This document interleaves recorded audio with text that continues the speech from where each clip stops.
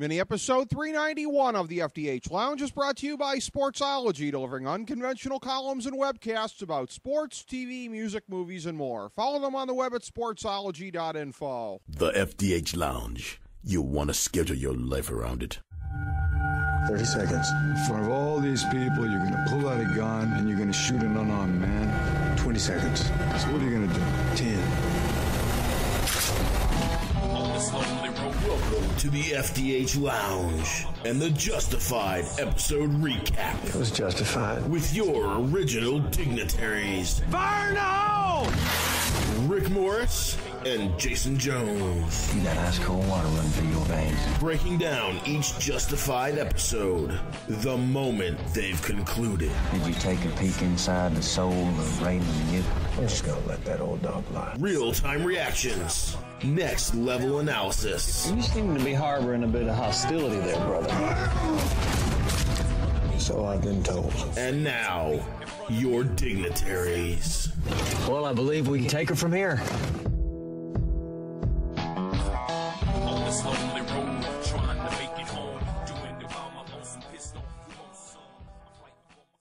Welcome to mini episode number 391 of the FDH Lounge. You've got original FDH Lounge dignitaries Rick Morris and Jason Jones joining you to talk about what was a much more action packed episode 5.9 than certainly the last three. The most action packed one since 5.5 shot to hell a couple weeks ago. Looking forward to hearing what my man Jay Jones thinks about tonight's episode. Jason, what do you think? Uh, how, how was 5.9 as far as entertainment value for you? Well, um, let's keep one thing straight. Um, I, I I found last week's episode to have a great amount of entertainment value. It may not have had a lot of bloodshed or double crossing necessarily, but um, I thought last week was important. Uh, this week was completely different, and I can absolutely see why this is the kind of episode people were kind of hoping tonight would be. I got to say though, um, it, it was it, it was more more justified, you know, guts so to speak, than we're used to seeing.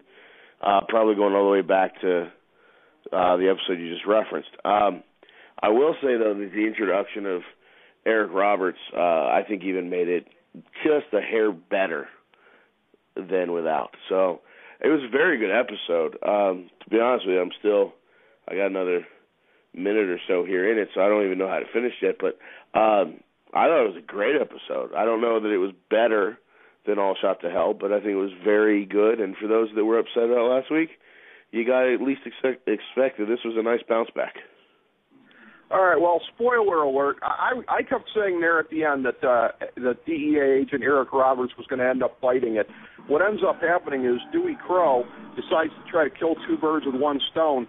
Guns the truck right at his cousin and at uh, DEA agent Eric Roberts, and uh, again ends up uh, making off from the scene, driving away with the blow as sort of the ultimate loose cannon there at the end. He only really grazed his cousin, who looked pissed and who was going to be out for revenge, but. Uh, I was kind of calling it there, watching it, that nothing good was going to happen to DEA agent Eric Roberts, as I really enjoy calling him. But you had texted me uh, during the show here about that him and Raylan it might make an interesting spin-off as uh, offbeat slash uh, cops on sort of the dark side of the law, doing things their own way. It's very interesting, Jason, that if you just peeled off some of the noir elements of this program and you just went for the grittier, flashier stuff like that, you put those two guys together as swashbuckling cops fighting crime, that could be a network show. I mean, it wouldn't be as artsy as some of the stuff on this program, but as far as pure entertainment value, you know, you could plop that on a major network and probably pull good ratings. I, I just think it would be really fun. The idea that, uh, as we saw with art, you know, there's this whole if you don't like how I'm doing it, then you can transfer me. Okay, uh, but instead of transferring within the Marshal Service, you have Raylan uh, changing careers and going over to the DEA, and you have sort of you know these two guys that operate on the the gray side of legal. You know, they get results by any means necessary, kind of a sort of buddy cop, but dramatic sort of way. It would be a real easy way for Raylan to walk away from what, however, this justified situation is going to end.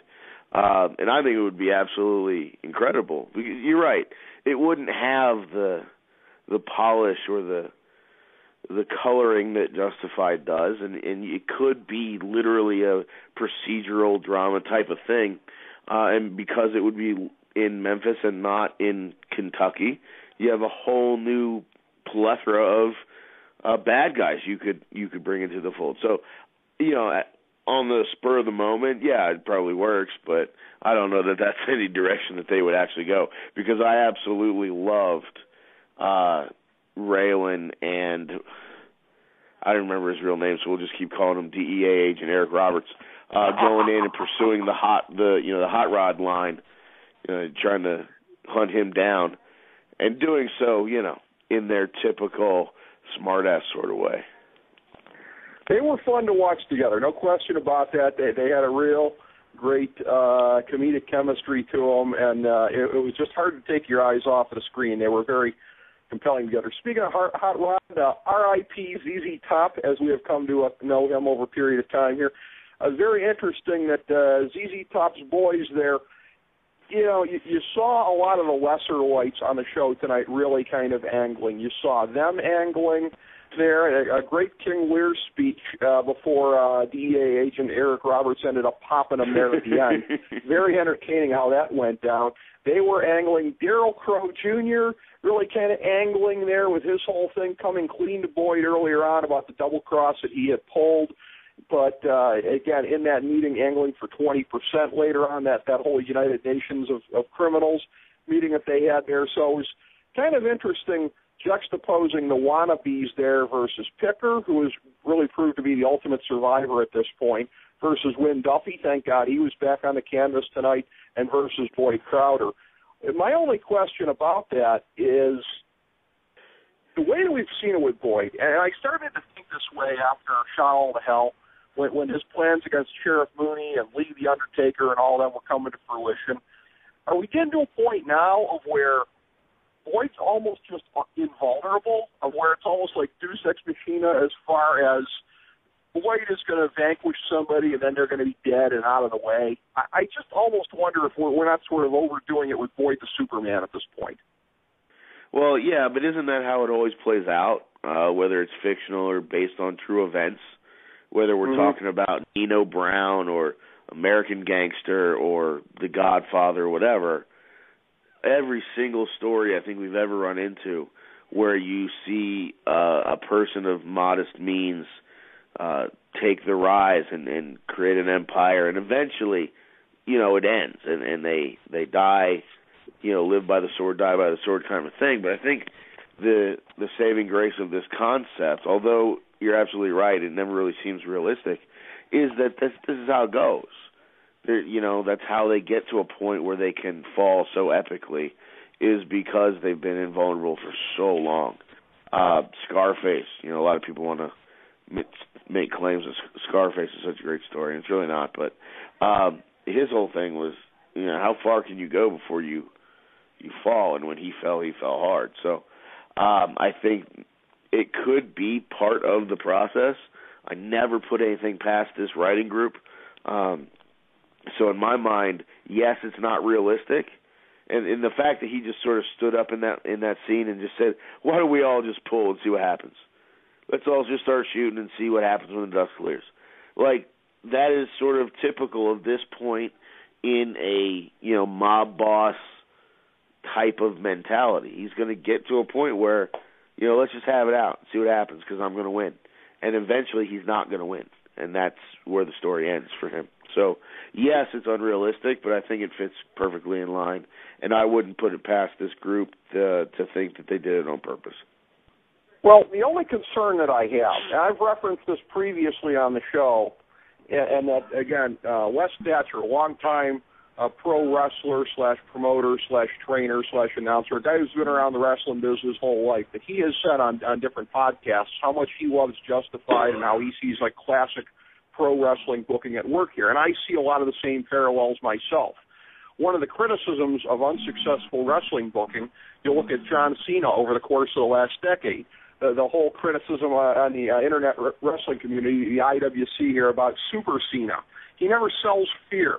He, never puts over his opponent enough to where you think they're a threat to him. And that's why a lot of his big programs haven't drawn the way that they have. That's why his program against Nexus a couple of years ago was short circuited because again, he didn't really sell enough for them. And that's the thing with Boyd. It's just a thing of like you know, Johnny looked like he was going to be a thorn in his side for a while, and then like last week, it turns out, oh, Boyd had him all along there. Boyd had the drop on him all along. It's just, it sort of keeps happening with Boyd of where somebody's a threat, but they never seem like as big of a threat. I don't know. I think Quarles was the last time he really had to sweat as far as somebody might end up really, really getting the better of him. Well, true, he didn't get Drew Thompson last year, but I just I do have that a little bit of a criticism right now. I, I do think that Boyd is not, you know, as they might say on the wrestling biz, showing enough ass at this point here. I, I just think some of the other, you know, criminal uh, rivals need to be a little bit more of a threat to him.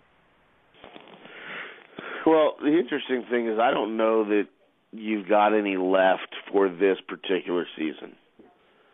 I don't. I don't know Probably that not. anyone, you know, unless it's Picker somehow. Mm-hmm. Um, I don't see uh, a criminal element being the one that gets over on Boyd, or or because basically what you're saying is he always wins and he needs to lose here and there. You can't go Yeah. undefeated forever. And and I'm going to throw something out there that I think most people that watch the show probably haven't thought of and probably don't want to Okay. think of. I'm just going to say it because when you compare everything, everything seems to come down to Boyd's Enterprise and not Boyd's Enterprise.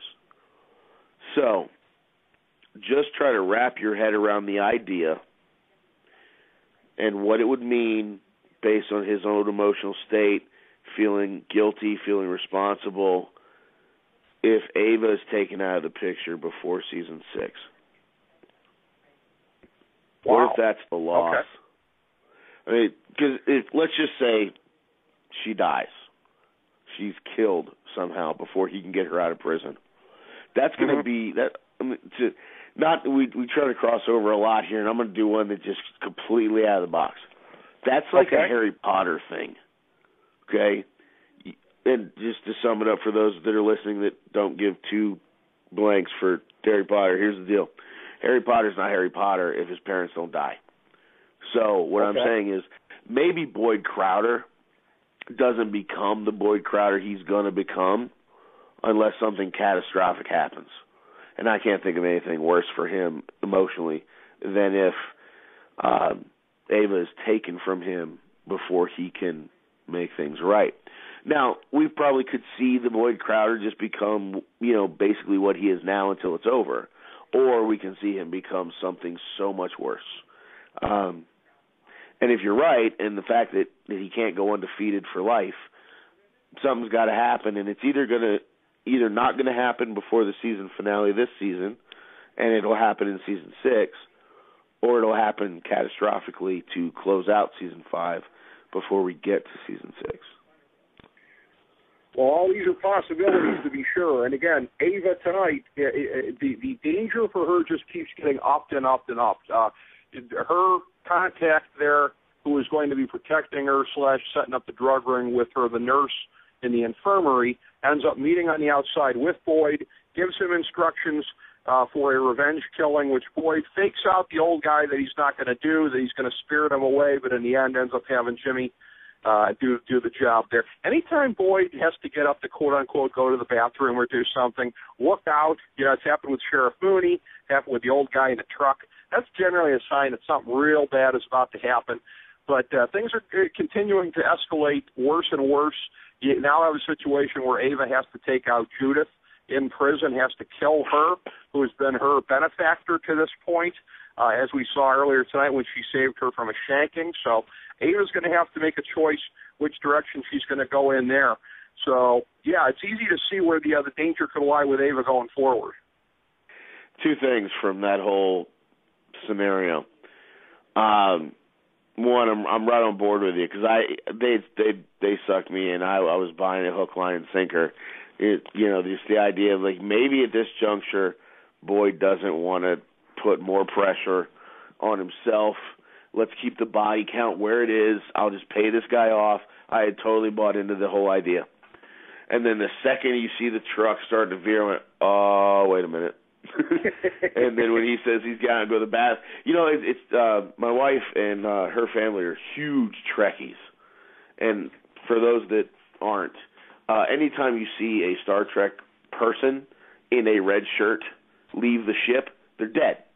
It's just a little thing they wrote they wrote into the script. If you were wearing a, you know, uh, Starfleet red jersey shirt, you're dead. And end of story. It just it Okay. almost never fails, and that's Boyd Crowder going to take a piss is his red shirt. It's you just know the second he's like, I'm gonna get out here and I'm gonna take a leak if you don't mind, and then even when he's like says, you know, Jimmy, why don't you give the man some of his money so he can relax? I'm like, oh, you're so dead, dead, dead, dead. You're so dead. and of course, that's exactly what happens. Uh, and the other thing from this whole scenario is um, um, the Ava thing in prison. Um, I'm kind of just riding along with it, just letting it happen. I'm not trying to think too much about it. Um, however, there's something about, and I would assume as a male, I just wasn't prepared for this. Um, the female prison lingo, the part where the the chick with the shiv is saying, unless you've got a gram shoved, and I'm gonna stop there because it's a family program. I was floored.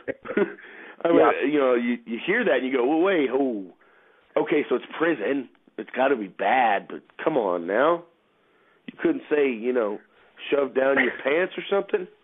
Anyway, Right. Uh, so and it just goes to the whole experience that one gets from uh, allowing yourself to be sucked into this whole show because, uh, you know, another in a long line of things that weren't expected but are absolutely realistic.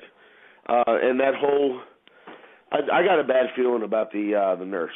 Yeah, I think something bad's either going to happen to her or something bad's going to happen to Ava because that's just shisty the way she just changed the deal. Like it was no big deal. Like, oh, you just got this Yeah. other little thing. No biggie. Are you serious? Yeah. You're, you're basically asking me to go kill the Pope. You know, Yeah, in well- Vatican City. So four episodes left. It really is ramping up. And uh, again, Raylan is going to be on the case here the rest of the way uh, this season. Here with the, uh, the dope getting smuggled up from Mexico, he's going to be on that. We're going to be following that. I want to briefly get to the Shield crossover and then to this other overarching note that I've got for tonight here. Brief Shield crossover. I had been saying when I started watching the Shield back around the beginning of February, Shane Vendrell, Walton Goggins' character on there, not nearly as good an all-around character as Boyd Crowder. I'm going to revise that slightly. Boyd Crowder, as you and I have indicated, is on the pantheon of recent TV characters. He, he is one of the, the greats of this golden age of TV. Shane Vendrell, though, hang in there for the end of season five and seasons six and seven, and that is where he goes next level himself. Walton Goggins will probably never be lucky enough to play another character like Boyd Crowder, but Shane Vendrell as a 1A is not bad. I, I'm seeing that now. For everybody that told me to hang in there for that, um, I do get that. I do understand that. Uh, now, this overarching note that I wanted to bring up tonight and get you to react to, Jason, based on something you and I came across after last week's episode, which, if you look around the internet, a lot of people thought was kind of subpar. Got some some folks that I want to call out first, and before I do that, I want to call myself out because I Okay. have when I'm doing this show. Okay, we do this in real time. I'm up for 14 hours basically uh, when we do this show. I can be a little bit tired. I had a couple of fumbles last week. I think I mangled the words coincidence and consequence. I think I said the wrong word there. I cringed when I listened back to that. And you said uh, the great episode from last season, and I immediately said convoy. No, it was decoy. So I got that wrong. Yeah. But those are honest mistakes. Those are just if I'm a little bit tired doing it in real time, blurt out the wrong thing. There was a mistake that was made last week by some folks that was not an honest mistake.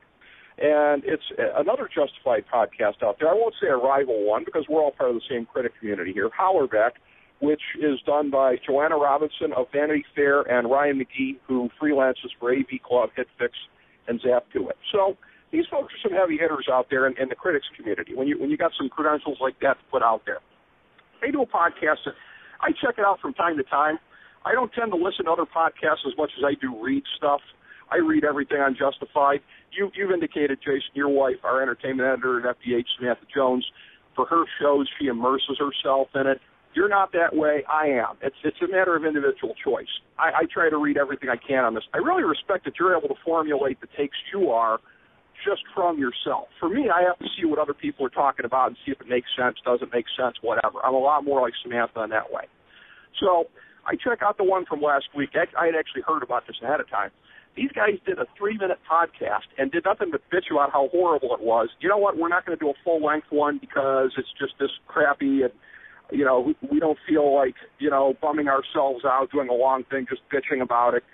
And again, they generally do stuff that's a lot better than that. I'm not out to put them down or anything like that, but that was a really dumb thing that they did, and I thought it was really disrespectful to their audience, and I, I think it was very, very ill considered because you got to go back to the framework of this show. And again, I've been more open than you've been, Jason, to being down on this season. Now, I, I, I tonight, I'm like, okay, I, I at least see where they're going.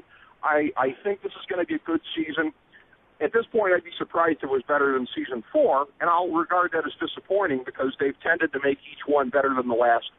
Some of us feel that two was a little better than three, but still, it, it's tended to be one better than the next, better than the next. I don't know if they're going to do that at this point again, so I, I'm a little bit more pessimistic than you, but you and I are basically in about the same place, which is even the episodes that you don't quote unquote like as much, they serve a purpose. And I went back to a quote, and this is what I want to get you to, re- refer uh, to, to get your thoughts on. And that's uh, not so much a quote; I'm paraphrasing him. David Simon, who wrote The Wire, and his thoughts on critics and his thoughts on it. He bristles at the very notion of people doing a review of one of his episodes because he's like, "What are you talking about? It's a chapter in a book. If you're looking at it in isolation, you're completely missing the point." I sat down and I did the math, Jason. There's 78 episodes of Justified, counting what's to come this season and next season. Every episode is 1.2% of the entire show. So if Joanna Robinson and Ryan McGee, who, like I said, I'm, I'm being a little bit harsh to them, even though I, I respect their abilities and I, I generally like what they do much better than that incident from last week – but they they took their ball and went home and cried about it over 1.2 percent of the series, or if you want to be really out on a limb here, 3.6 percent. If, if they were complaining about every episode since Shot All to Hell, so that's what I don't get. Is that again? This is a highly episodic show, or serialized, I guess is what I'm looking to say not completely like Breaking Bad. Breaking Bad is 100% serialized. Maybe this is 90 to 95% because there, there's some standalone things in some of the episodes. And Uncle Jack last week was kind of a standalone thing.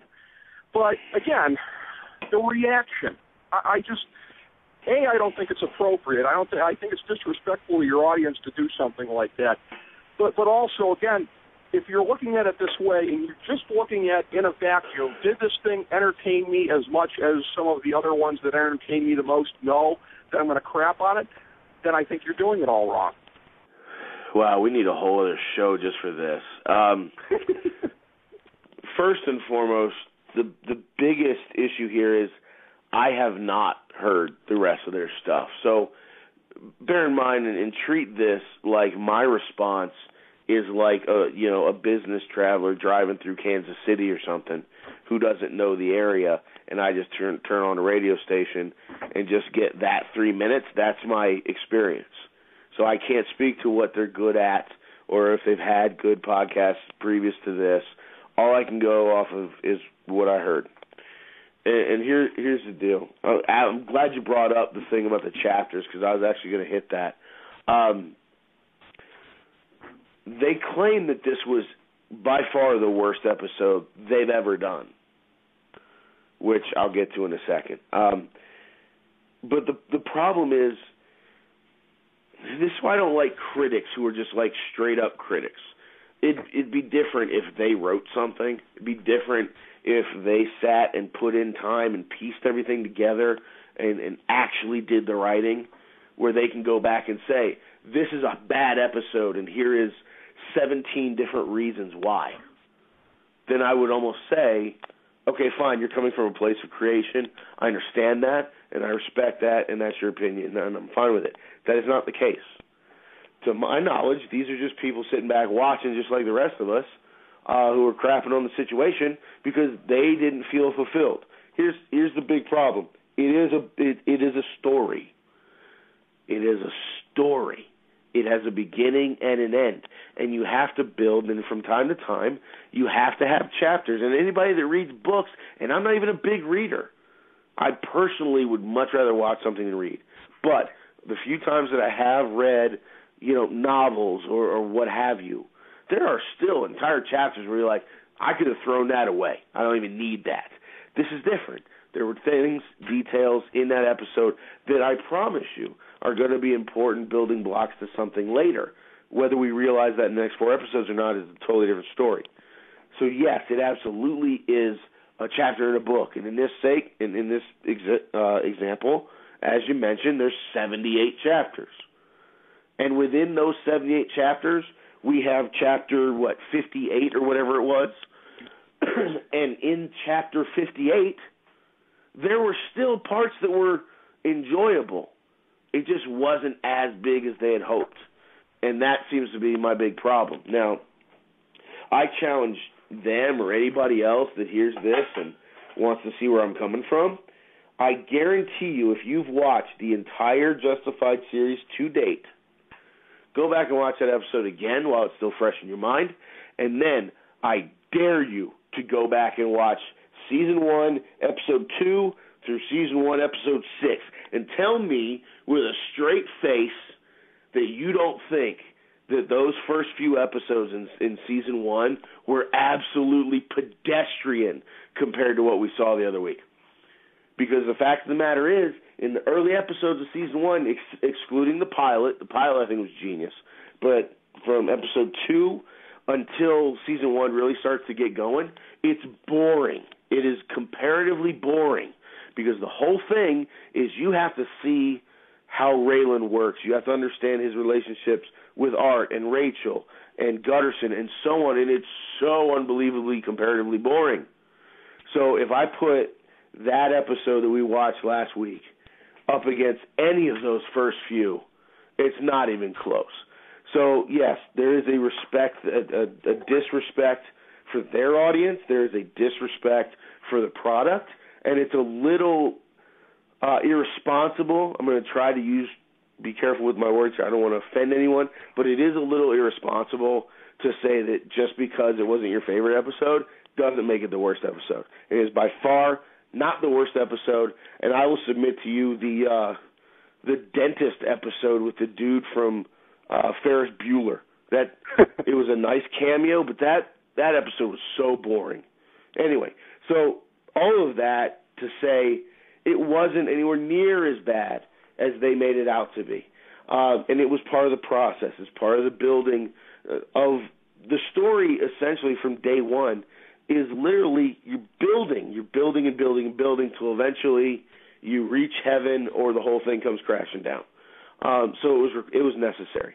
Now, as far as the actual podcast goes, please, for the love of God and all that is holy, please, someone get back to us and tell me that one of them had a recital to go to.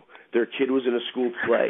tell me there was something in their life that was pressing, and they literally called up each other and said, "Hey, I hate to do this to you, but I got a problem with our show this week. I got another priority." At least be honest and come out and tell me that there was something important in your life that you had to deal with that took precedence over the podcast, because at least that is forgivable. But to go on and basically produce a series of voicemails, which, if you listen to it, can't possibly be real. Uh, they have to have been made up the way that they were delivered. But anyway, that that's more of a production thing that I won't waste time with. But point being, tell me there was some other priority because th- that is such a slap in the face to put together a series of what I think are fake voicemails just to say, oh, this episode was so bad, we're not even going to talk about it. Seriously? You really think that your listeners are that stupid? That they think that you think so little of one episode that you're willing to just walk away? Because if that's the case, you never should have done the podcast to begin with. That means that you don't believe in the product, you don't think it's a great thing to watch, uh, and you don't find value in, in all of its facets because you basically just gave up. You mailed it in, and that's fine. But be you know be honest about it and say that there's a you know 20 different things you'd rather be doing than talking about this episode. Because if you're really Right. honest with yourself, the episode's important, and you dropped the ball. Well, that is that is very very well said. In our tiny remaining moments here, I'm going to note as well too. Again, you and I are not blind fanboys. I was thinking about this as well. We called out elements of the whole Clover Hill storyline and the execution of it, and the fact of like, hey, look, man, there's not really that level of class warfare in Appalachia. You and I have called out things on this. Season one, I agree with you. I don't have much of a, a desire to go back and watch much season one. I'm sure I will at some point. But again, compared to what came after it, I agree with you. Pedestrian in comparison. Very well set on all of these points, as I knew it would be. I'm looking forward to 510 next week here. I'm looking forward to the last four episodes of the season. I can't believe we're already up to this point already. I'm looking forward to breaking it down with you once again, my man. Catch you next week, my friend. As we bring the show to a close, we would like to extend our deepest gratitude to NBC, CBS, ABC, Fox, all Clear Channel affiliates, TNT, TBS, USA, UPN, Deadspin.com, YouTube.com, YTMND.com, MySpace.com, various blogs, Fox News, CNN, CNBC, MSNBC, IamBoard.com, Billboard.com, Google.com, ESPN, ESPN2, ESPN News, ESPN Classic, NBA TV, NFL Network, Sports Time Ohio, Athlon Magazine, Comedy Central, Cartoon Network, The Boomerang Channel, QVC, BET, The Spice Channel, Steno Notebooks, Manwich, Papermate Office Supplies, waitresses, strippers, bartenders, garbage men, janitors, microwave popcorn, the writers of The Office, Scrubs, Entourage, My Name is Earl, Oz, Metalocalypse and the Boondocks, Aquafina, and the periodic table of elements.